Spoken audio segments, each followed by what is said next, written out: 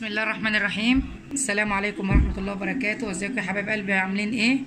النهارده بقى يا حبايب قلبي جايين بتركات وبحركات. فراخ المشوية على الفحم. طبعا إحنا عملنا الفراخ المشوية قبل كده في الفرن. ومعايا المقادير بتاعتي. معايا فرختين مغسولين ومنقوعين كويس جدا جدا بالملح وبالليمون وبالطحينة عشان الزفارة. ومعايا نص كوب خل ومعايا كوباية عص... بصل معصور ومعايا نص كوباية عصير ليمون ومعايا علبة زبادي. ومعايا بقى المقادير معايا توم باودر معايا بابريكا سكر آم، قرفة آه، اللهم صل على سيدنا النبي شطة فلفل أسود روزماري توم powder وزعتر وفلفل وما بتاع ملح ملح أبيض. وبنسمي الله وبنعمل كده في الفراخ. طبعا إحنا قصيناها في الفيديو السابق وزي ما أنتم شفتوني يا حبايب قلبي. وبننزل كده على الفرخة عشان نخلي الصدر يبقى طري. بندق عليه شوية كده.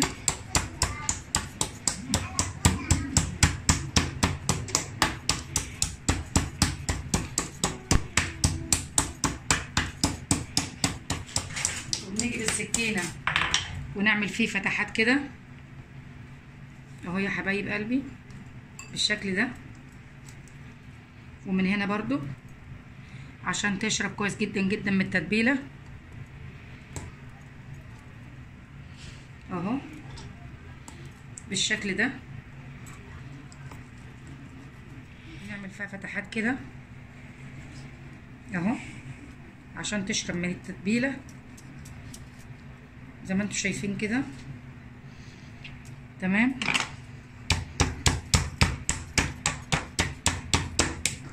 اول بسم الله الرحمن الرحيم. بننزل بالبابريكا. وده سكر عشان يخلي الحاجة تستوي. ويديها لون كرملة كده وجميل. ده التوم البودر وده الزعتر. ده البصل البودرة. وده الروزماري. وده الفلفل الأسود. وده الشطة. وده الملح أهو. بننزل بكل المكونات الجافة كده مع بعضها. ننزل بعصير البصل. بسم الله الرحمن الرحيم. أهو يا حبايب قلبي. بننزل بالخل. بننزل بعصير الليمون. ومعايا واحدة علبة زبادي. أهيت. طبعا إحنا عملنا فيديو للزبادي ما شاء الله تبارك الله. وزي ما قلت لكم يا حبايب قلبي أي حاجة قبل ما نعمل قبل ما نعمل أي حاجة في الأكل نسمي الله ونصلي على رسول الله صلى الله عليه وسلم عشان ربنا يجعل الأكل فيه بركة. أهو يا حبايب قلبي الريحة مش عايزة أقول لكم ما شاء الله تحفة تحفة تحفة. بعد ما عملنا ال ال ال ال mix التتبيلة كده بالشكل ده بنزل بيها بقى بالفراخ بسم الله الرحمن الرحيم. الصلاة والسلام على أشرف المرسلين. مش عايزة أقول لكم يا حبايب قلبي والله الريحة ما شاء الله تبارك الله. طبعا الفراخ يا حبايب قلبي بتبات ليلة كاملة في التتبيلة دي. بنلفها ب stretch ونحطها في التلاجة. بتبات ليلة كاملة في في في التتبيلة دي. عشان لما تتحط عشان تبقى شاربة من التتبيلة وتبقى جميلة كده ما شاء الله تبارك الله. اهي يا حبايب قلبي. فرخة ما شاء الله عشان دقينا على صدرها بالشاكوش. طرية زي الملبن. اهي يا حبايب قلبي. بتبات ليله كاملة بنلفها بالاسترتش وبات ليله كاملة في التلاجة ونفتح بقى نحطها على الشواية. اهي يا حبايب قلبي. غسلناها وصفيناها كيلو رز وحطيناها في البرام ده بالنسبة للرز المعمر اهو.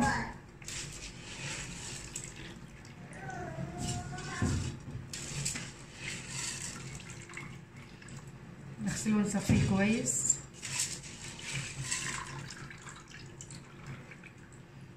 الله بقى لو في حتة قشطه تحطها في أرضية الجرام كده. يبقى جميل ما شاء الله تبارك الله. أهو ننزل بنقطة زيت كده.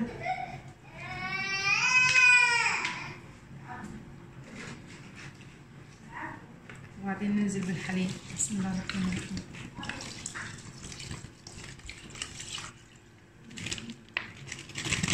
بس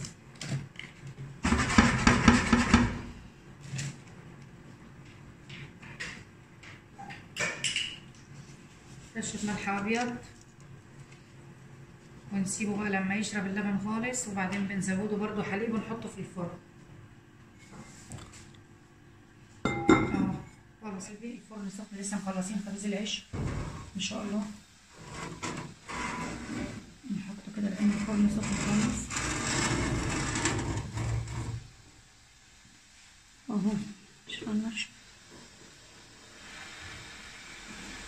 نوطي النار خالص بقى ونسيبه لما يستوي. دي الفراخ يا حبايب قلبي وبعدين ما طلعناها من التتبيلة. وده الفحم إن شاء الله ولعينه أهوت. هنحطها على الفحم إن شاء الله. نشويها ونرجع لكم تاني. ده يا حبايب قلبي الفراخ على الشواية أهيت على النار زي ما أنتم شايفين. أهيت ما شاء الله. ملت للسوا الريحة ما شاء الله مع التتبيلة ما شاء الله. تبارك الله طالعه تحفة. هي اتلفت شوية علشان الفحم كله كان متكون في النص والنار كانت عالية شوية. فأنتوا بتحاولوا توزعوا الفحم كده وت إيه في الشواية وت إيه عشان يتلفت شوية. الريحة ما شاء الله يا تبارك الله طالعة تحفة. اللهم صل وسلم وبارك على سيدنا محمد صلاة تنحل بها العقد وتنفرج بها الكربات يا رب العالمين. أهو يا حبايب قلبي. ما شاء الله تبارك الله الريحة طالعة تحفة تحفة. حبايب قلبي زي ما أنتم شايفين بالصلاه على سيدنا النبي محمد صلى الله عليه وسلم وبارك لنا فيه. الفراخ قربت خلاص تستوي دخلت في السوا. وطبعا إحنا معلقين ال- ال- الرخام ده عن الشواية عشان ما يبقاش قريب قوي من الفحم من الفراخ ويشمطها ويحرقها. اهو يا حبايب قلبي. زي ما أنتم شايفين بالشكل ده ما شاء الله تبارك الله. خلاص قربت تستوي دخلت في السوا ما شاء الله. عشان نحطها بس في الحلة عشان تفضل سخنة. سخنة. لسه شوية على المغرب.